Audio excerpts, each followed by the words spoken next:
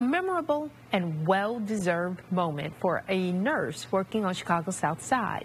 Mary Easley had to take several buses in order to get to work and care for patients during the pandemic. Well, just in time for Christmas, the Autobarn Mazda of Evanston surprised her with a brand new car. As part of the Mazda Hero campaign, Easley is now the proud owner of a Mazda MX-5 Miata. Being able to get back and forth to work on time. Um, I am now actually stationed at another position at campus um, as a mental health care worker. Mm-hmm. And yeah, this yeah, this will definitely help me. it's been a tough year. Mary's beloved grandmother passed away this year. Her uncle nominated her for the award. A 30